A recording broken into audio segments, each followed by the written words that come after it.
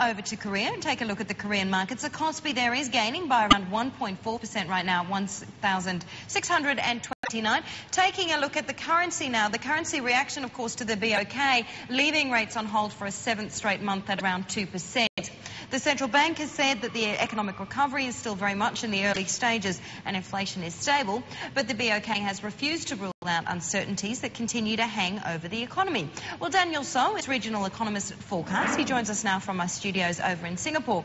Uh, Daniel, great to have you with us today. Uh, we, of course, have seen the BOK leave interest rates unchanged, which was pretty much as you expected uh, them to do. But I guess the focus really on the commentary. Uh, uh, what are you looking for from the BOK? Mm, that has been in recent in recent days or session that we have seen the treasury market actually starting to factor in at least a 25 basis point hike as early as November or December. But I still maintain my view that uh, BOK is unlikely to rush into nominalization of interest rate until the first quarter of 10. That's a great point because uh, among the initial comment, analyst comments that I saw right after that interest rate decision, five out of five said they only expect an interest rate hike uh, in the first quarter. And what is interesting to note is that we're actually just getting commentary right now from the Central Bank of Korea saying that there can be cases in which the policy is deemed to be on an easing bias even after interest rates are raised. So the BOK now already talking about interest rates. Why are they doing this? Mm, I think trying to boost their credibility because if you look at the fundamentals or if you look at the performance of Asian economy, South Korea and China or maybe Indonesia will be one of the first few to, to, to normalize the interest rate. And there have been talks about uh, excessive uh, liquidity driving up asset So they are trying to show, to convince the market that they will do certain things if necessary to, to contain inflation. But if you from, from the broader perspective, deflationary gap is still huge in South Korea and, and they, they are unlikely to use uh, monetary tools to tackle suppose tradable inflation due to the rise in oil prices. So, and private consumption and investment are still fragile. So I don't really see a, a, a rush or a need to, to raise interest rate. And of course, the most important thing is the South Korean won, which has boosted the economy during this global financial crisis. And they may lose some of its competitiveness if uh, the dollar fundamental weakness come in, and especially for the yen.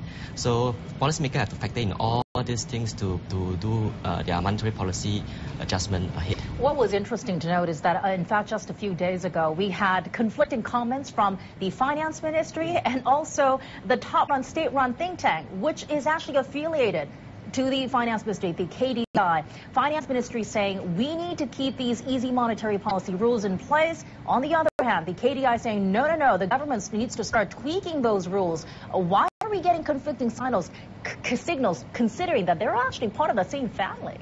I don't think the signal is conflicting in a sense that the finance ministry is trying to say that uh, an exit strategy in terms of focusly on rate will have to come looking in line of economic development or economic uh, recovery from a global perspective. Our KDI is talking about more of emergency measure financial rather than specifically rate policy. Mm. But a lot of the things that they have done, uh, they should actually start to unwind them.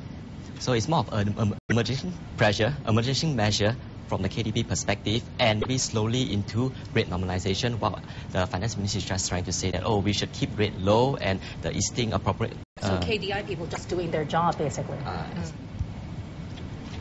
Uh, Daniel, let me jump in here and uh, ask you about the Taiwan, the Premier's uh, surprise resignation that we had earlier on this week.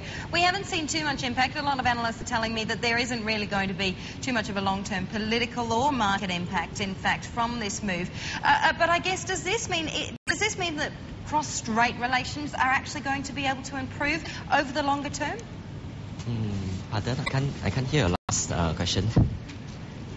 Does this mean, Daniel, that uh, cross-strait relations are going to improve? Uh, yes, of course. I mean, the the, the newly appointed uh, premier should actually say that they will stick to prede predecessor policy and also aim to improve cross relation. So this will allay, allay concern about any uncertainty to policy orientation or the geopolitical tension across the, the cross streets. And you can see uh, from the portfolio search in portfolio equity inflows into the Taiwan stock market over the last few sessions.